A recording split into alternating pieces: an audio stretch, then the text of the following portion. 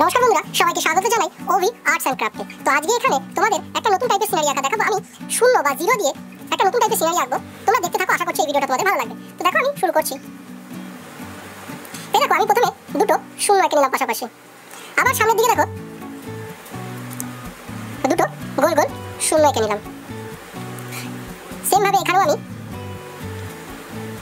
দুটো শূন্য এঁকে নিলাম পাশাপাশি। এবার এই যে শূন্যগুলো আঁকলাম, এই শূন্যগুলো দিয়ে আমি একটা সিনারি আঁকবো। দেখো। এই দেখো আমি।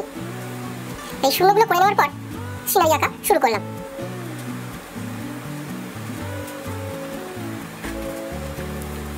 দেখো, আশা করছি তোমরা বুঝতে পারছ আমি এখানে কি আঁকছি আস্তে আস্তে।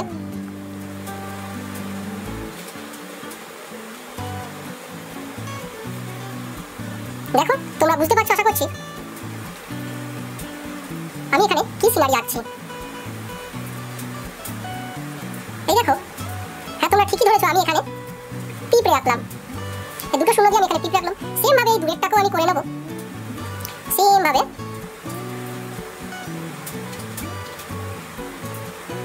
এই দেখো দূরের যে পিঁপড়েটা, তারও আমি হাত পা করে নিলাম এবং মুখে যে কাটা অংশটা থাকে সেটা করলাম, এখানে চোখ করলাম, আর এর মাথা দিয়ে দুটো সিং টাইপের উঠে গেছে, সেটা করলাম। পাশেরটারও সেম করলাম। এখানে তার দুটো দাঁত করে নিলাম এবং পেছনের দিকে যে পেছনের অংশটা থাকে, সেই অংশটা করে দিলাম। দেখো। এই দেখো। এই দেখো পিঁপড়েগুলো আমি এখানে এঁকে ফেললাম। দেখো, আমি শূন্য দিয়ে আমার পিঁপড়ে আঁকা হয়ে গেছে। এবার এই পিঁপড়েটাকে আমি রং করে তোমাদের দেখাবো এবং সেটাকে দিয়ে একটা নতুন টাইপের সিনারি এঁকে দেখাবো। তো আমি রং করা শুরু করছি। রং করার জন্য দেখো, প্রথমে আমি অরেঞ্জ কালারটা নিয়ে নিলাম। এবং অরেঞ্জ কালারটাকে এর পেটের দিকে এবং মুখের দিকে এইভাবে ঘষে দিচ্ছি। ঘষে দিলাম। দেখো, যেভাবে আমি ঘষছি, তোমরাও ঠিক সেইভাবে ঘষো তাহলে তোমাদেরও পিঁপড়ে আঁকাটা, পিঁপড়ের যে সিনারি আঁকাটা, সেটা খুব সুন্দর হবে। দেখো, প্রথমে আমি পুরো পিঁপড়েটাকেই অরেঞ্জ কালার দিয়ে রং করে নিলাম। এরপরে আমি ডিপ যে লাল রংটা আছে, সেই লাল রংটা নিয়ে নিলাম। এবং এর ধার ঘেসে ঘেসে আমি রংটা করছি। দেখো, পিঁপড়েগুলো আমি কীভাবে রংটা করছি? তোমরা ভালো করে খেয়াল করো তাহলে তোমরা খুব সুন্দরভাবে এই টাইপের যে পিঁপড়ে সিনারি বা এইভাবে পিঁপড়ে আঁকা যায়, সেটা তোমরা আঁকতে পারবে। দেখো, আমার পিঁপড়েগুলো আঁকা হয়ে গেছে। এবার পিঁপড়েগুলোর রংগুলোকে আমাকে ব্লেন্ড করে দিতে হবে, যাতে পিঁপড়েগুলো দেখতে সুন্দর লাগে। দেখো, এইভাবে আঙুল দিয়ে আমি পিঁপড়েগুলোকে ব্লেন্ড করে দিলাম। দেখো দেখো, আমার এখানে পিঁপড়ে আঁকা হয়ে গেছে। এই পিঁপড়ে আঁকার পর আমি আবার কিছু জিরো এঁকে নেব, দেখো। দেখো, এখানে আমি কিছু জিরো এঁকে নিচ্ছি। আমার মনের মতো আমি এখানে কিছু জিরো পাশাপাশি এঁকে নিচ্ছি। দেখো, জিরো দিয়ে আমি পুরো ছবিটা করছি। দেখো, এখানে এইগুলো কি হলো? একটা একটা। ভালোভাবে কমপ্লিট করছি, তোমরা বুঝতে পারবে এটা কি হলো একটা। দেখো, এক একটা ফুল হয়ে গেল। সেম ভাবে দেখো, আমি আবার করছি জিরো আঁকছি। মাঝখানে গোলা দিলাম, আবার এই একটা জিরো আঁকলাম, আবার একটা শূন্য আঁকলাম। তবে এখানেও একটা ফুল হয়ে গেল। সেম ভাবে এখানে একটা এখানে একটা উপরে একটা, নিচে একটা। দেখো, এখানেও একটা ফুল হয়ে গেল।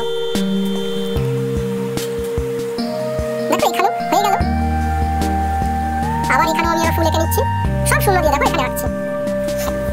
এবার আমি এটাকে পরিবর্তন করব। তার জন্য আমি এখানে দেখো, একটা এঁকে নিচ্ছি।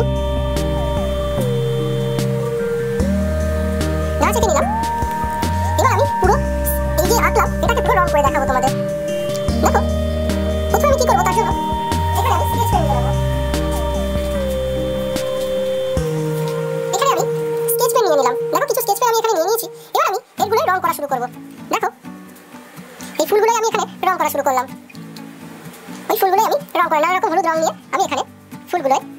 করলাম। দেখো, এখানে আমি স্কেচ পেন দিয়ে ফুলগুলো রং করছি। দেখো এক একটা ফুলে আমি এক এক রকম রং করছি। এটা তোমরা যেমন খুশি রং করতে পারো। আমার যে ফুলটা যেমন রং করার ইচ্ছা হচ্ছে, আমি সেই ফুলটাকে সেই রকম রং করছি। দেখো, এই ফুলগুলোকে আবার অরেঞ্জ করছি। আমার যে ফুলটা যেরকম রং করার ইচ্ছা হচ্ছে, আমি ঠিক সেই রকম রং করছি। দেখো, এই ফুলগুলো আমার রং করা হয়ে গেল। একটা ফুল বাকি আছে, সেটাকেও আমি করে নিই। হয়ে গেছে? এবারে আমি গাছটাকে তার আগে করে নিই। গাছটা করার জন্য আমি কি করব? এই যে লাইট যে খয়েরি আছে, সেই খয়েরি রংটা নিলাম। খয়েরি রংটা দিয়ে আমি গাছের রংটা করছি। তোমরা ভালোভাবে দেখবে, আমি এখানে খুব সুন্দর করে এই রংটা করব। এইভাবে করলে দেখবে তোমাদের সিনারিটা খুব সুন্দর হবে। দেখো, এরকম রং করে আমি হাত দিয়ে এটাকে ব্লেন্ড করে দিলাম। যে এক্সট্রা রংটা হলো সেটাকে আমি ছেড়ে দিলাম। এরপরে আমি এবার স্কেচ পেন দিয়ে এখানে গাছ আঁকবো, গাছগুলোকে আঁকবো। তো গাছ আঁকার জন্য দেখো, এখানে আমি কি করলাম? গোল দেখো, আমি এখানে যেহেতু শূন্য দিয়ে করব বলেছি শূন্য দিয়ে আমি এখানে গাছটা আঁকা শুরু করেছি। দেখো, এই সিনারিটা একদম নতুন টাইপের আশা করছি এই ভিডিওটা তোমাদের খুব ভালো লাগবে। যদি এই টাইপের আরও ভিডিও আরও ক্রিয়েটিভ ভিডিও তোমরা দেখতে চাও, তাহলে আমার চ্যানেল ওভি আর্টস এন্ড ক্রাফটে সাবস্ক্রাইব করে রেখো এবং পাশে দেওয়া বেল আইকনটার উপর ক্লিক করে রেখো। তাহলে যখনই আমি কোনো নতুন ভিডিও আপলোড করব তখন সেটা তোমাদের নোটিফিকেশন বারে চলে যাবে। দেখো, আমি একটা হলুদ দিয়ে উপরের দিকে পাতা কিছু করলাম, তারপরে দিয়ে এর মাঝে মাঝে ঘুরিয়ে দিচ্ছি। কিছু পাকা পাতা থাকে, কিছু হালকা পাতা থাকে, সেইগুলো বোঝানোর জন্য। এইভাবে ধীরে ধীরে, দেখো আমি পুরো শূন্য দিয়ে এই গাছটা পুরো কমপ্লিট করছি। দেখো আমি শূন্য দিয়ে, তোমরা দেখতে পাচ্ছ আমি এখানে শূন্য দিয়ে পুরো গাছটা কমপ্লিট করছি। এরপরে এরপর আমি আবার শূন্য দেওয়া শুরু করলাম। এক একটা শূন্য দিয়ে আমি এই গাছগুলো আঁকছি। তোমরা ঠিক আমাদের মতো ফলো করো বা আমার মতো ফলো করো তাহলে তোমরা খুব সুন্দর সুন্দর এই টাইপের সিনারিগুলো তোমরা আঁকতে পারো। দেখো আমার যেখানে যেখানে মনে হচ্ছে শূন্য দিয়ে, পাতা করা যাবে, যেহেতু পাতাগুলো করছি, সেই পাতাগুলো আমি এখানে শূন্য দিয়ে করে যাচ্ছি, দেখো। করছি, তোমাদেরও এই ভিডিওটা ভালো লাগছে। ভালো লাগলে আমার এই ভিডিওটা লাইক করো কমেন্ট করো এবং তোমরা আরও যদি অন্য টাইপের কিছু সিনারি আঁকা জানতে চাও, শিখতে চাও, তাহলে আমাকে নিচে কমেন্ট করো। আমি সেইভাবে সেরকম নতুন নতুন সিনারি তোমাদের জন্য নিয়ে আসার চেষ্টা করব। এছাড়াও আমার আরও অনেক রকম ভিডিও সিনারি রয়েছে, সেগুলো তোমরা এই ওবি আর্টস অ্যান্ড ক্রাফটে গিয়ে দেখতে পারো এবং শিখতে পারো। দেখো, নিচের দিকে আমি একটু ডিপ সবুজ দিয়ে করছি মানে নিচের দিকে যে ছায়া পড়ে, সেইটা বোঝানোর জন্য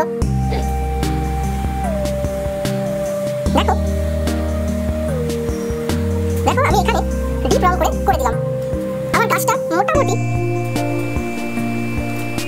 কমপ্লিট হয়ে গেল। এবার কিছু শেড দিচ্ছি, যাতে গাছটাকে একটু গাছের মতো দূর থেকে মনে হয় দেখো, আবার আমার মনে হচ্ছে একটু বাড়ি দেওয়া যায়। তাই গাছটাকে আমি একটুখানি, দেখো সবই আমি কিন্তু শূন্য শূন্য দিয়েই করে যাচ্ছি, বেশিরভাগই।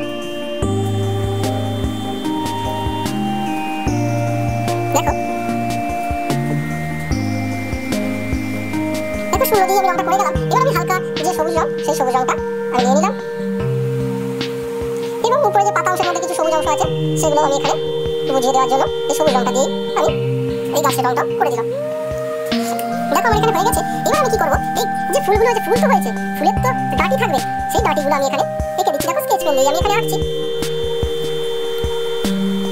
এখানে কিছু আমি লম্বা লম্বা ঘাস টাইপের রাখছি যেখানে হচ্ছে কি, এই পিঁপড়েগুলো খাবার খুঁজতে এসেছে এবং এই যে ঝোপঝাড়ের মধ্যে দিয়ে যে তারা খাবার খুঁজতে বেরিয়েছে, জঙ্গলে যে খাবার খুঁজতে বেরিয়েছে, সেইটা আমি এখানে বোঝানোর জন্য এই টাইপের সিনারিটা আঁকছি।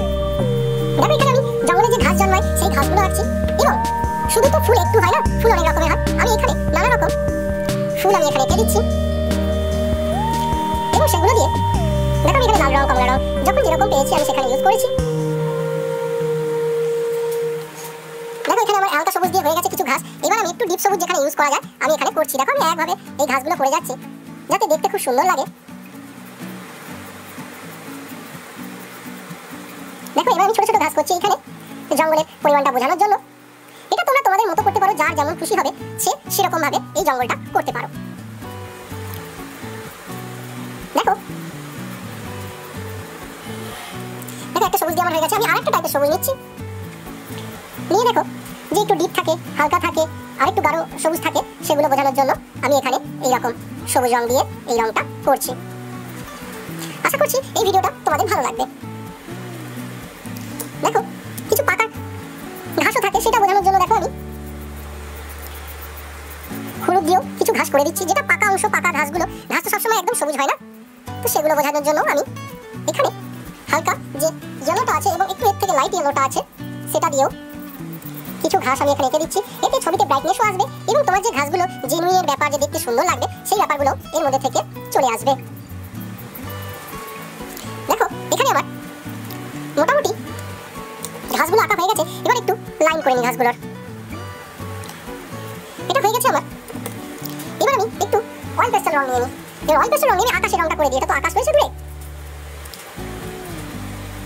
দেখো, আমি একভাবেই আকাশটা ঘষে নিলাম। এবার ঘষে নেওয়ার পর সাদা রংটা নেব। এখানে আমি ব্লেন্ড করব না। হালকা করে আকাশের উপর দিক থেকে ঘষে দেবো। তাহলে রংটা সুন্দরভাবে ব্লেন্ড হয়ে যাবে, চারিদিকে ছড়াবেও না আর দেখতেও খুব সুন্দর লাগবে দেখো। দেখো, এখানে আমি আকাশটা করে দিলাম। আকাশটা দেখো, দেখতে সুন্দরও লাগছে আর ইয়েও লাগছে ভালো লাগছে। আবার আমি একটু আকাশের মধ্যে ঘষে দিলাম। ঘষে নেওয়ার পর আঙুল দিয়ে সেম ভাবে একটুখানি ব্লেন্ড করে দেবো। এতে কি হবে? আকাশটা দেখতে একটু সুন্দর লাগে মেঘ মেঘ রয়েছে। দেখো, এখানে আমার আকাশ আঁকাও হয়ে গেছে। এখানে ঝোপ জঙ্গলে পিঁপড়ে হয়ে গেছে। এবার পিঁপড়েরা এখানে কিছু খাবার খুঁজতে এসেছে। তো, আমি এখানে একটা খাবারের টুকরো মতো করে দিচ্ছি। খাবারের টুকরো মতো আমি এখানে করে দিলাম। এবং সেটাকে আমি দেখো ইয়েলো কালার দিয়ে, এবং হালকা অরেঞ্জ কালার দিয়ে ঢেকে দিচ্ছি, যাতে ওরা যে খাবারের খোঁজে এসেছে, সেটা বোঝা যায়। হয়ে গেছে আমার এখানে। এবার আমি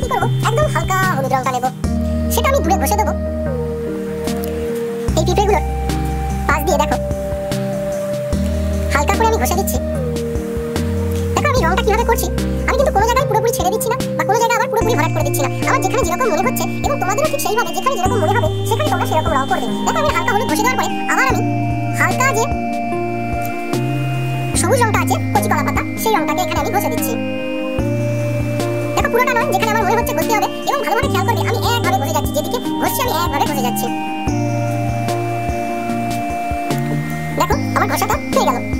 করব? একটু যে ডিপ সবুজটা আছে, সেই ডিপ সবুজটা আমি এখানে নিয়ে নেব। এবং নিচের দিকে হালকা করে ঘষে দেবো। ঘষে দিয়ে এবার কি করব আমি? একটা কাগজের টুকরো নিয়ে নেব। একটা কাগজের টুকরো নিয়ে এই যে জমিটা আমি আঁকলাম, এই জমিটাকে রংটাকে আমি ব্লেন্ড করে দেবো। যাতে দূরে যে জমিটা আঁক রেখেছি আমি, সেটা দেখতে সুন্দর লাগে। এবং জমিটাও যে ঘাস হয়েছে বা দূরে যে মাঠের মধ্যে ব্যাপারটা, সেই ব্যাপারটা এখানে বোঝা যায়। দেখো না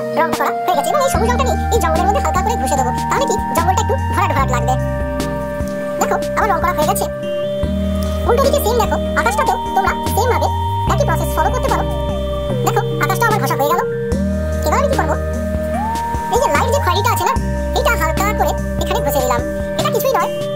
হালকা খয়েরি।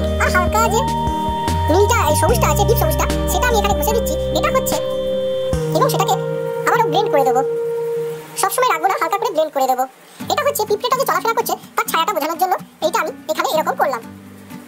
আশা করছি এই ভিডিওটা তোমাদের ভালো লেগেছে। যদি এই ভিডিওটা তোমাদের ভালো লাগে এবং এই টাইপের আরও ভিডিও তোমরা দেখতে চাও, তাহলে আমার চ্যানেল ওভি আর্টস এন্ড ক্রাফটে সাবস্ক্রাইব করে রেখো এবং পাশে দেওয়া বেল আইকনের উপর ক্লিক করে রেখো। তাহলে যখনই আমি কোনো নতুন ভিডিও আপলোড করব তখন সেটা তোমাদের নোটিফিকেশন বারে চলে যাবে। এই বলে আমি আজকে এই ভিডিওটা শেষ করছি। ধন্যবাদ।